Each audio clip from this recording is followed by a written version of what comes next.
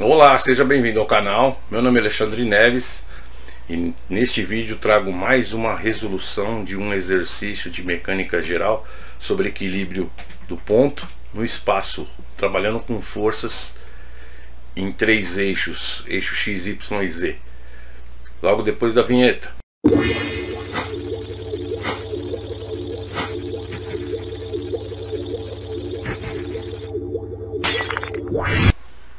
Então aqui o famoso exercício do balão que sempre aparece em prova de mecânica geral.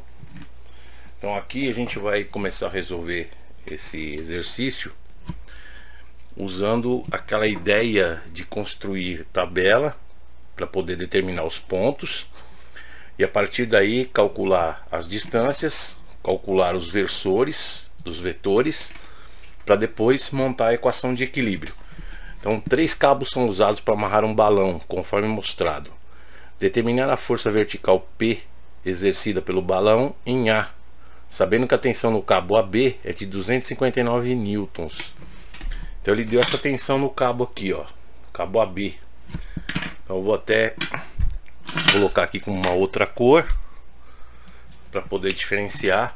Então aqui nós temos a força que está sustentando o balão nesse cabo AB. Aí eu tenho uma outra força aqui sustentando o balão no cabo AC. Uma outra força sustentando o balão no cabo AD.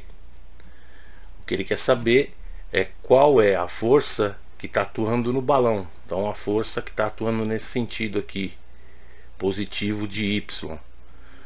Eu vou chamar essa força aqui de P, que é o que ele está colocando no problema. Então nós temos aí que primeiro definir as coordenadas. Então vamos começar aqui origem 000. Então vou criar aqui um quadro de coordenadas. Então a origem x, y, z. Então origem 000. Depois o ponto A. O ponto A é o ponto que está preso ao balão. Pode ver que para chegar até esse ponto é só caminhar na direção de Y positivo, que é 5,6 metros. 0 para Z, 0 para X. Ponto B. Ponto B só está na direção X, do lado negativo. Então, menos 4.2, 0 para Y e 0 para Z. O ponto C ponto C ele tem uma parcela em X que é de 2.4 e uma parcela em em Z que é de 4.20 então 2.4 em X 4.20 positivo em Z 0 em Y. Esse é o ponto C. Ponto D ele vai ter uma parcela negativa aqui para Z. Não tem nada em X. Então o ponto D ele só tem essa parcela negativa aqui em Z, menos 3.3, 0 para X, 0 para Y. Então aqui a gente construiu o quadro de coordenadas. Eu vou deixar o link aí no card para vocês poderem acompanhar um vídeo que eu fiz sobre o cálculo de forças tridimensionais. Então agora a gente vai pegar os vetores, o vetor AB, o vetor AC, o vetor AD então, começando aqui com o vetor AB, ele vai ser o que? Ele vai ser o B menos A. Então, B menos A, coordenadas de B menos as coordenadas de A. Menos 4.2 menos 0 vai dar menos 4.2i. 0 menos 5.6 menos 5.6 j. Então aqui nós já definimos o primeiro, o primeiro vetor. Aí nós temos o vetor AC. O vetor AC ele vai ser C menos A. C menos A vai ser 2.4 menos 0, 2.4 I. 0 menos 5.6 menos 5.6 J. 4.2 menos 0, 4.2 K. Então aqui são as coordenadas do vetor AC. E o vetor AD ele vai ser D menos A. Então, D menos A vai ser 0 menos 0 vai dar 0. 0 menos 5.6 menos 5.6 J, porque está em Y. Menos 3.3 menos 0, menos 3.3 K. Então aqui a gente definiu os vetores. A partir daí a gente vai definir distâncias, né? Então as distâncias que nós vamos ter em relação a B, a C e a D. Então para isso a distância AB vai ser a raiz quadrada dos elementos que nós temos no vetor AB ao quadrado menos 4.2 ao quadrado mais menos 5.6 ao quadrado. Vou deixar aqui montado, pois eu vou calcular AC. Vou pegar 2.4 ao quadrado, 5.6 menos 5.6 ao quadrado, 4.2 ao quadrado. Vamos deixar indicado. E o vetor AD vai ser quem? Vai ser raiz quadrada menos 5.6 ao quadrado 3.3 ao quadrado. Então aqui a gente vai tirar as distâncias. Então a primeira ali 4.2 ao quadrado mais 5.6 ao quadrado. Isso aí vai dar 7. 7 metros. Depois, AC 2.4 ao quadrado mais 5.6 ao quadrado 4.2 ao quadrado. Isso aí vai dar 7,4 metros. E a distância AD 5.6 ao quadrado mais 3.3 ao quadrado. Isso aí vai dar 6,5. Então nós calculamos as distâncias aqui. Agora que a gente vai precisar montar. Vamos montar as trações com os respectivos versores. Como que a gente vai fazer isso? Vamos pegar aqui primeiro TAB. A força TAB vai ser igual o módulo de TAB que multiplica o vetor AB dividido pela distância AB. Nós já conhecemos o valor do, do da, da tração AB. Então nós já conhecemos esse valor aqui. Então vai ser 259 que vai multiplicar o vetor AB menos 4.2 I menos 5.6J dividido pela distância que é 7. Vamos fazer agora, vou deixar montado aqui, depois eu vou calcular ali no canto. TAC. Então, TAC, eu vou pegar o módulo de TAC que eu não conheço, vezes AC sobre a distância AC. Então aqui vai ficar TAC, que eu não conheço, multiplicando por 2.4i menos 5,6j mais 4.2k dividido pela distância que é 7.4, a distância AC. Depois, TAD, eu vou pegar um módulo de TAD que eu não conheço, vou multiplicar pelo vetor AD dividido pela distância AD. Então, TAD, que multiplica menos 5.6 J menos 3.3K sobre a distância que é 6,5. Então, eu vou fazer aqui o cálculo de cada um deles. Então, menos 4.2 dividido por 7 vezes 259. Então, isso aí vai dar 155,4 negativo I 155,4 I negativo e 5.6 dividido por 7 vezes 259 isso aí vai dar 207.2 J. 207,2 J. Isso aqui correspondente à força AB, está em Newton. Agora aqui, aqui eu não conheço o TAC, então vai ficar tudo em função de TAC. Então 2.4 dividido por 7.4. Isso aí vai dar 0.3243. 0,3243 TACI. Depois 5.6 dividido por 7.4.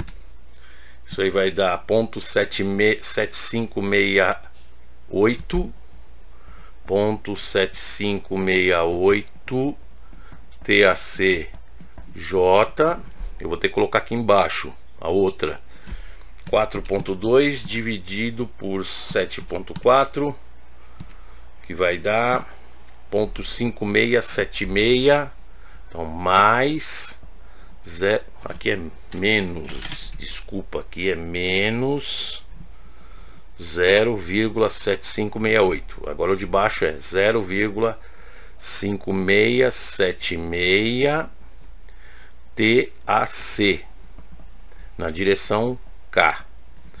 Esse aqui vai ficar 5.6 dividido por 6,5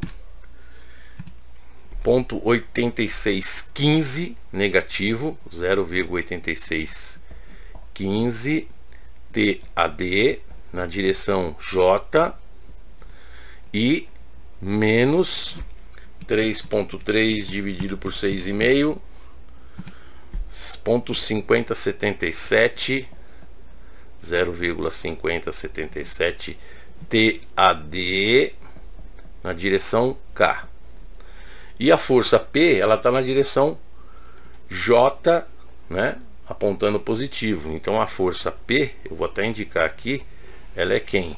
Ela é um PJ positivo. Como nós temos aqui todos eles, agora o que a gente vai fazer? A gente vai juntar os elementos nos seus respectivos eixos para cada uma dessas equações. Então, por exemplo, I e nós temos aqui na primeira linha, correspondente ao TAB, menos 155,4. Na segunda linha nós temos o ponto 3243 TAC. Na terceira nós não temos nenhum I e o P também não tem I. Então daqui igual a zero, porque tem equilíbrio, é o equilíbrio do ponto, né? Então, isolando o TAC aqui, a gente vai ficar com TAC igual 155.4 passou para o outro lado positivo, dividido por ponto 3243. Isso aí vai dar um valor de TAC de 479,186 newtons. Então nós já encontramos a primeira força, a força do primeiro cabo nem precisava, né? Na realidade, o que ele está pedindo é o valor de P, mas a gente vai precisar calcular os outros, as outras trações para poder chegar em P. Depois, em J, nós temos o valor de menos 207,2. Pode ver que eu estou separando todos eles. Menos 0,7568 TAC, que é o que a gente acabou de calcular. Depois em J menos ponto 8615 TAD, que a gente não tem ainda. E o P mais P igual a zero. Como nós só conhecemos essa força, nós não conhecemos essa e não conhecemos essa. Então a gente precisa encontrar TAD primeiro. Então a gente vai na equação K Primeira força não tem nada em K. Aqui nós temos ponto 5676 TAC em K, ponto 5676 TAC em K. E aqui nós temos menos ponto 5077 TAD está em K também. Isso aqui tem que ser igual a zero. Como o P, eu está em J, ele não vai aparecer nessa equação. Então a gente vai substituir o valor de TAC que a gente acabou de calcular para poder encontrar o TAD. Então 0,5676 que multiplica 479,186 menos 0,5077 TAD igual a zero. A gente vai isolar aqui. Então, ponto 5676 vezes 479.186 dividido por ponto 5077. Isso aí vai dar uma força TAD igual a 535,7218 newtons. Então encontramos o valor de TAD. Agora nós vamos pegar tanto o TAC quanto o TAD substituindo a equação de J. Então, substituindo TAC e TAD na equação de J, então a gente vai ficar com em J menos 207,2 então aqui vai ficar menos 207,2 menos ponto 7568 que multiplica TAC, já vou substituir o valor de TAC aqui, que é 479,186 uh, menos ponto 8615 TAD, ponto 8615 o valor de TAD é 535, 535,7218 mais P. Então, jogando tudo para outro lado, a gente vai encontrar o valor de P. Então, P vai ser igual ponto 7568 que multiplica 479.186 com 207.2 com ponto 8615 ponto 8615 vezes 535.7218 isso aí vai dar um valor de P igual a 1031 vírgula 1031,3723 newtons. Essa é a força que o balão está exercendo neste ponto. Observando que o cabo mais frouxo vai ser o cabo AB que já foi dado, que é 259. Depois o cabo que está recebendo o maior esforço é o cabo AD, está recebendo 535 e o cabo AC está recebendo 479.186. Esse exercício aqui, ele é muito parecido com vários exercícios que tem no Bill Johnson, que se você montar essa sequência do capítulo 2, que trabalha com o equilíbrio do ponto, tanto no plano quanto no espaço, você montando a sequência para esse caso, que é o que a gente fez agora, no espaço, definindo coordenadas, definindo os vetores, as distâncias, e o cálculo dos versores, se você fizer na sequência, você não vai errar, pode ficar tranquilo. É o típico exercício que cai em prova, tá? Depois, separando cada uma das equações em I, J e K, vai ficar bem mais fácil você poder enxergar o que você precisa fazer para poder resolver este tipo de problema.